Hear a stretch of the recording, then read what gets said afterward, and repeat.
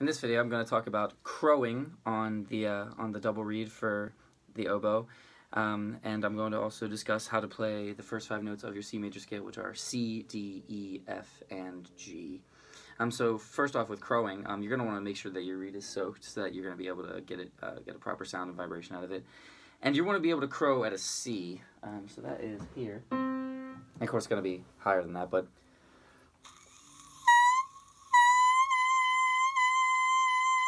So like that's pretty much what we're striving for. Uh, so now to put it in the instruments, uh, we're gonna see if we can get uh, the first five notes of the scale out.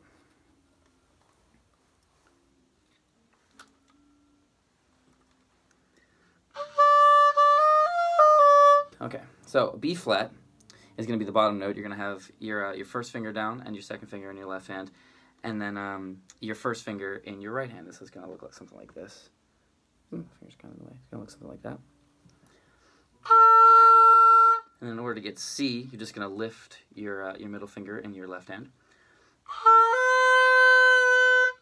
And so then to get D, it's just one, two, three, one, two, three. But for this octave, you need to do the, the half hole on the top one. So not, not just here, but on this second little valve.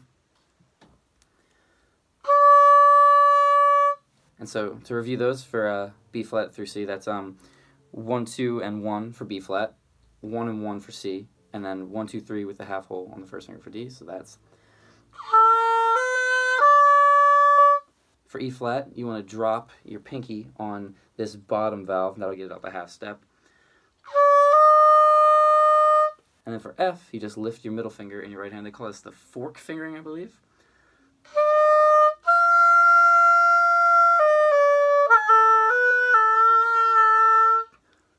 Okay, so we'll go through that just one more time. So we'll play the scale from top to bottom. So that's B flat, 1, 2, and 1. C is 1 and 1. D is 1, 2, 3, 1, 2, 3 with the half on the first finger in the left hand. Drop the pinky in the right hand for E flat. And then lift your middle finger for F.